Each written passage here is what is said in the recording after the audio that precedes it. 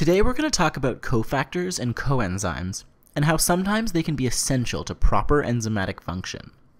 But first, let's review the idea that enzymes make reactions go faster.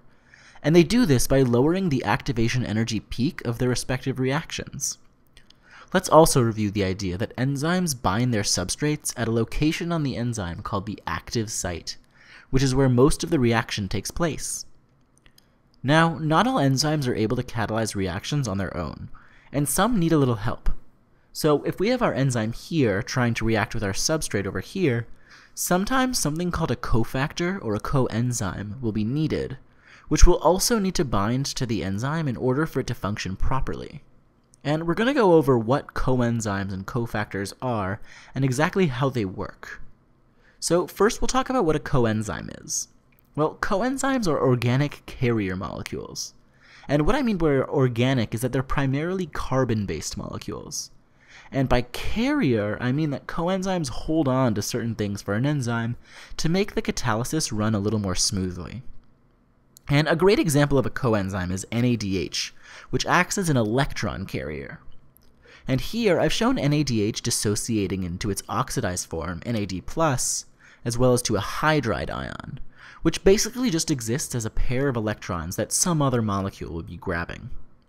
So NAD plus can accept electrons, causing the molecule to be converted to NADH, which could then carry electrons for an enzyme.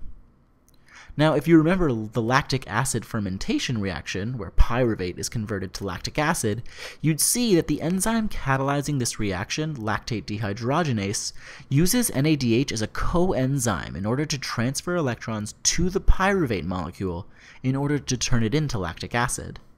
And in this sense, NADH is acting as an electron-carrying coenzyme.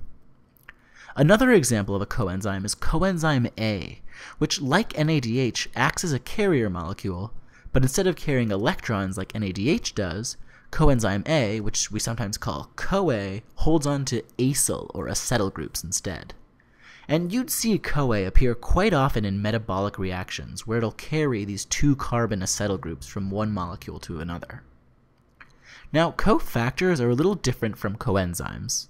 While coenzymes are only really involved in transferring different things from one molecule to another, cofactors are directly involved in the enzyme's catalytic mechanism.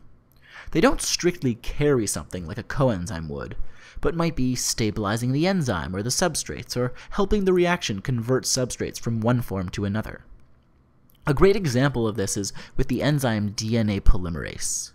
Remember that DNA polymerase is responsible for helping out with synthesizing new DNA during DNA replication.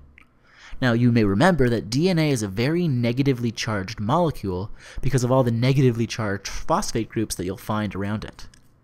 Well, DNA polymerase uses a magnesium ion as a cofactor, which can use its big positive charge to stabilize all that negative charge on DNA. And you can see how this is different from a coenzyme, because instead of acting as a carrier molecule, the magnesium ion cofactor is stabilizing the DNA and is more directly involved in the actual catalysis.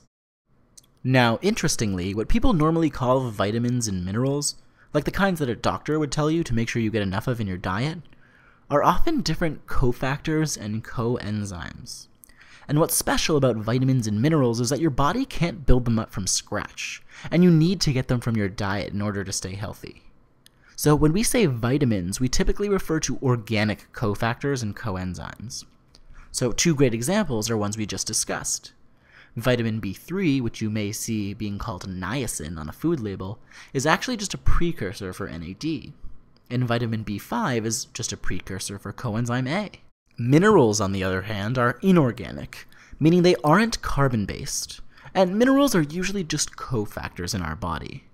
So magnesium would be a great example of a mineral cofactor that an enzyme like DNA polymerase would use.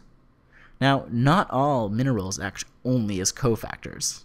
Some minerals, like calcium, which can act as a cofactor, is also a critically important component of bone and teeth and it doesn't strictly act as an enzyme cofactor here. It's actually an important part of the structure itself. So what did we learn? Well, first we learned that not all enzymes are able to function alone, and some need a little help. And next we learned that this help can come from coenzymes, which usually act as carrier molecules, or cofactors, which directly assist with the catalysis that the enzyme is doing. And finally, we learned that vitamins and minerals generally refer to dietary cofactors and coenzymes.